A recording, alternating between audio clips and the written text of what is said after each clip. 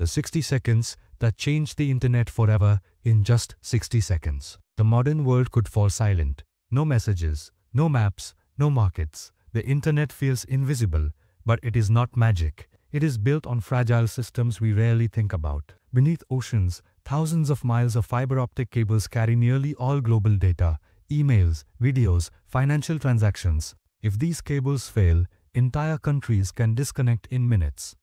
And it has already happened. In 2008, a single damaged cable disrupted internet access across the Middle East and parts of Asia, impacting millions. Airports slowed, businesses froze.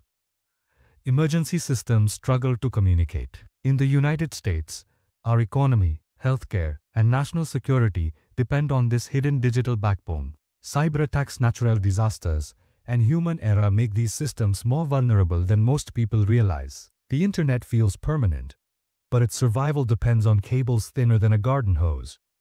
The question is not if it breaks, but when.